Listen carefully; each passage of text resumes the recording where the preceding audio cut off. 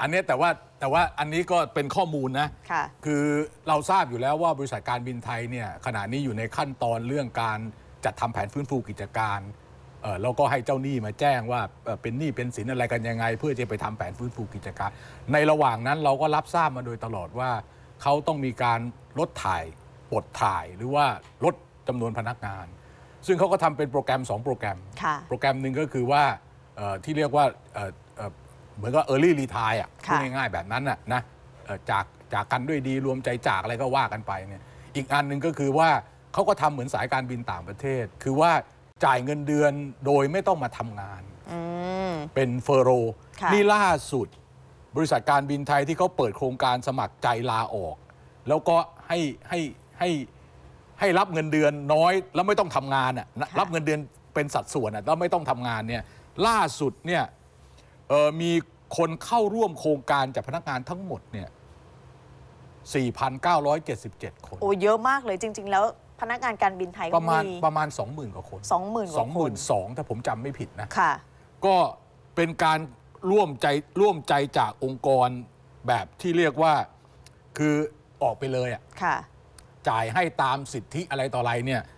สิริรวมแล้วก็ประมาณสัก 11 12 เดือนอะไรอย่างเงี้ยนะแต่ยังไม่ได้เงินทันทีนะบอกก่อนนะค่ะเออก็ยังเราไม่จะได้ได้เงินเมื่อไหร่คะเห็นว่าประมาณว่าประมาณประมาณ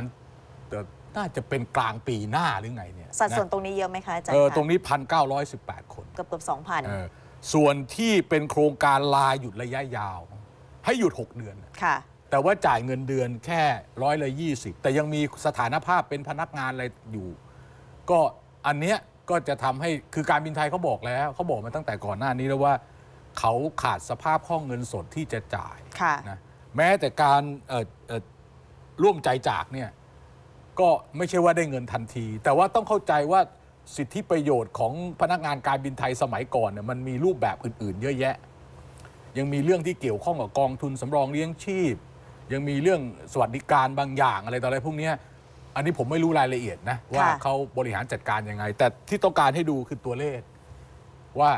อย่างน้อยๆจะต้องมีคนออกไปเลยค่ะ แบบออกขาดเลยอะพันเก้าร้อยคนอืมมีแล้วผล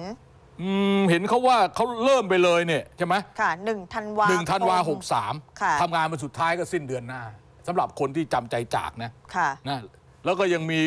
ยังมีอย่างอื่นอีกอะนะอันนี้ก็เป็นหนึ่งใน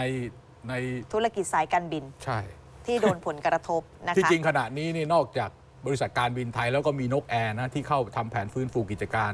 ในสารล้มละลาย ค่ะ อันอื่นก็พยายามประคับประคองตัวกัน ค่ะ นะ